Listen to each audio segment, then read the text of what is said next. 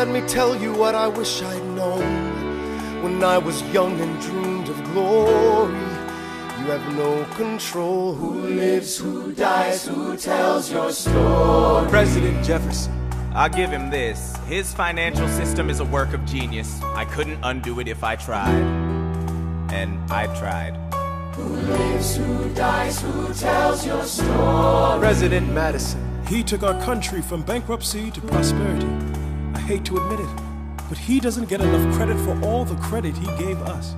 Who lives, who dies, who tells your story? Every other founding father story gets told. Every other founding father gets to grow old. And when you're gone, who remembers your name? Who keeps your flame? Who tells your story?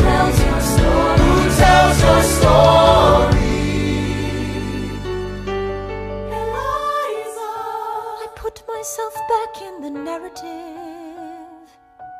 Eliza. I stop wasting time on tears. I live another 50 years. It's not enough. I interview every soldier who fought by your side. Tells our story. I try to make sense of your thousands of pages of writings. You really do write, but you're running out of time. I rely on Angelica.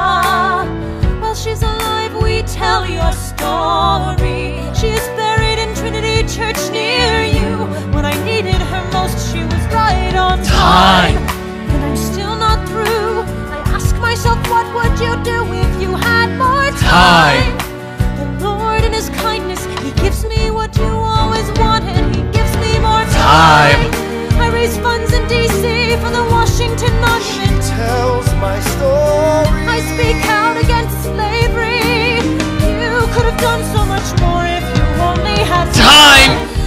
my Time. time is up, have I done enough?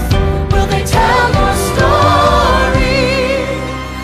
Oh, can I show you what I'm proudest of? The orphanage. I established the first private orphanage in New York City. The orphanage. I helped raise hundreds of children.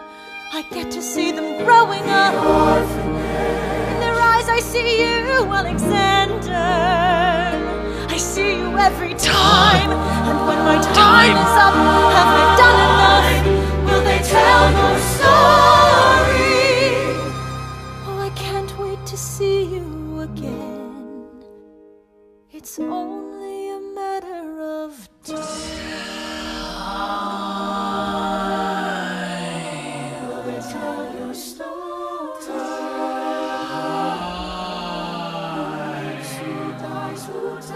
your story?